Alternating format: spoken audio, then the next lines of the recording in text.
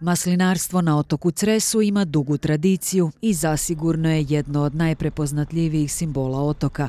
Kako bi se sačuvale stare sorte maslina, Primorsko-goranska županija je u suradnji sa Agronomskim fakultetom u Zagrebu provela njihovo genetsko istraživanje. I nakon toga smo išli u raznožavanje tih maslina za koje smo utvrdili da su različite domaće i napravili smo, evo tu, posadili smo tih dvadesetak sorata, neke su još pod šifrom, u sljedeće godine očekujemo da ćemo izdati jednu malu brošuru i svaka će imati svoje ime i svaka ima svoj red, tako da ćemo i malo pratiti, imamo jednu suradnju i sa veleučilištem.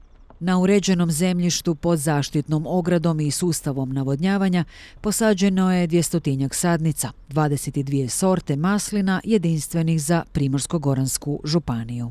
Tu ćemo vidjeti u biti koje su najperspektivnije sorte. U jednoj budućnosti će se moći razmnožavati nove sadnice maslina baš koje su ljudi zainteresirani. Nešto slično što smo napravili sa vinovom lozom. Daniel Nurkić obrađuje i održava ovaj kolekcijski nasad maslina od oko 150 novih i 40 starijih stabala i nastoji da on bude što rodniji.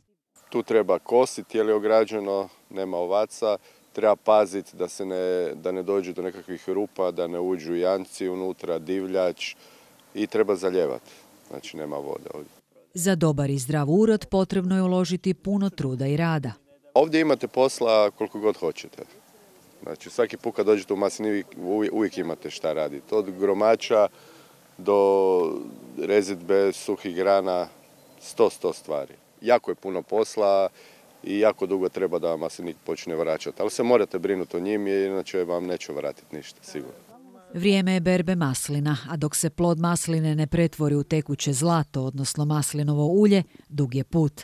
Kada maslina počinje mijenjati boju, kreće se u polje. Za Marinu je berba ljubav, a ne posao. Kad dođe ovo vrijeme, onda počinje naša ljubav, počinje naša berba. Žalost je da ove godine ovako slabo, ništa se nije dogodilo. Tako da ćemo ove godine brati jedno dva tjedna i to čisto za vlastite potrebe, a inače kada je ozbiljna berba beremo do mjesec dana, čak i preko i napravimo ozbiljne količine maslinovog ulja.